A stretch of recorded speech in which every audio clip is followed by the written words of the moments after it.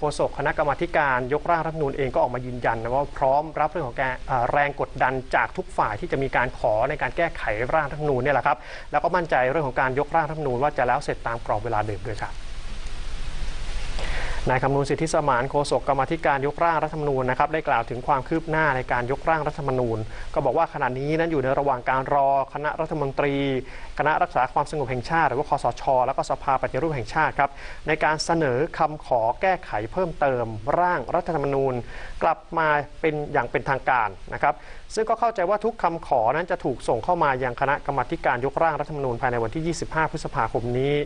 หลังจากนั้นตั้งแต่วันที่ 2 มิถุนายนเป็นต้นไปครับทางด้านกรรมธิการยกร่างรัฐธรรมนูญก็จะมีการเริ่มประชุมกัน เพื่อพิจารณาร่างรัฐธรรมนูญแบบไม่มีวันหยุด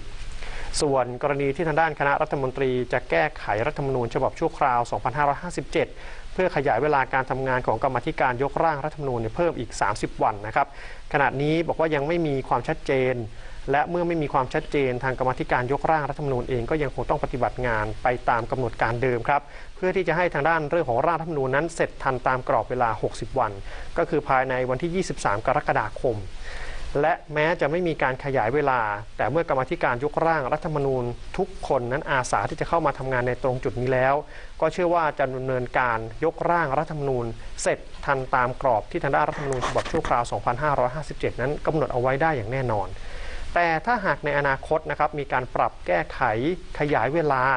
ก็อาจจะมีการปรับปฏิทินการทำงานใหม่ทำให้มีความเหมาะสมต่อไปด้วยนะครับและสำหรับกระแสข่าวเรื่องของการคว่ำร่างรัฐธรรมนูญที่จะมีออกมานั้น ก็บอกว่ามันไม่ส่งผลกระทบต่อทางด้านกรรมธิการยกร่างรัฐธรรมนูญนะครับเพราะว่าทุกคนนั้นมีความหนักแน่นเพียงพอ